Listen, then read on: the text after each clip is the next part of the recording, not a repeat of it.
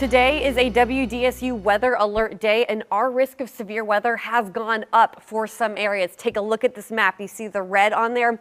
That is now a moderate risk, which is a level four out of five. That is a high risk for severe weather. This includes the North Shore, our Mississippi counties, and the metro area as well. So we have now been upgraded to a level four moderate risk in those areas. Everywhere else, still a level three enhanced risk. So we all have the risk of severe weather.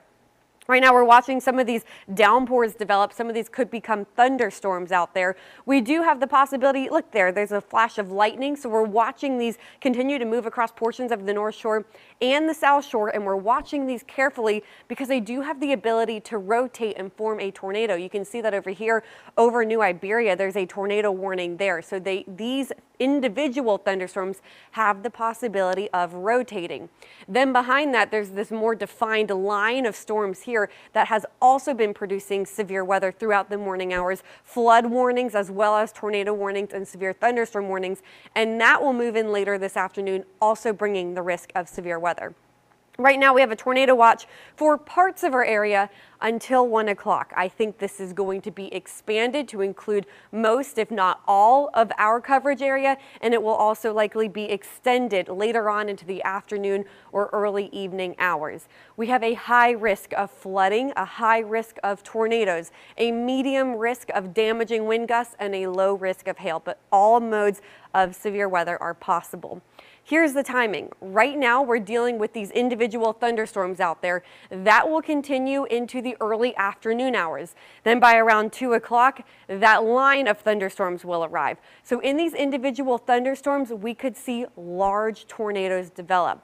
They could also be severe and produce damaging wind gusts. They could produce hail. They could also dump a lot of rain in a short amount of time. Then behind that, with this line of storms, we also have the risk of all of those modes of severe weather. And that's when the flooding risk really comes into play because with the, the rainfall that we see in the individual thunderstorms and then the steady heavy rain from this line of storms, that will start to build up. The timing, again, arriving to the north, north shore around 2 o'clock, then moving across the North Shore through around 5 o'clock, arriving to river parishes around 3 o'clock, moving through the metro area between 4 and 5 o'clock, and then continuing to move towards coastal areas closer to 6 o'clock, and then exiting. We could see a few lingering showers behind it, but the severe weather threat comes to an end early this evening. Our tornado risk has gone up as of the last update. So now where you see this color here, that's where we are under that moderate risk of severe weather. That's because the tornado risk has gone up. A 15% probability of a tornado within 25 miles of a point. And not only that, but all these dashes here, that's the hatched area, which means that we could see large tornadoes, stronger tornadoes. EF2 to EF5 tornadoes are possible. That includes our entire area. So whether you're in the 10% probability or the 15% probability, we all have the risk of seeing large, long-lived, strong tornadoes this afternoon. We also have that risk of flooding. A flood watch is in effect until 9 o'clock this evening for everyone except for coastal Louisiana, we could see four to six inches of rain with locally higher amounts as well. So if you do live in an area that floods easily, you want to think about moving your car to higher ground. We also, of course, have the probability of damaging wind gusts, 58 miles an hour or stronger than that.